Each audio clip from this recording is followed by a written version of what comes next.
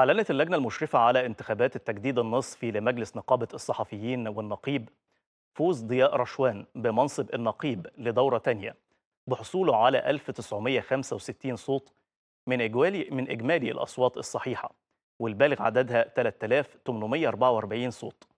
بينما حصل المرشح رفعت رشاد أقرب المنافسين على 1506 من الأصوات. كذلك أعلنت اللجنة فوز آه، أيمن عبد المجيد ودعاء النجار ومحمد سعد عبد الحفيظ لمجلس النقابة تحت السن وفاز بمقاعد المجلس فوق السن محمد خراجة وحسين الزناتي وإبراهيم أبو وكيلة.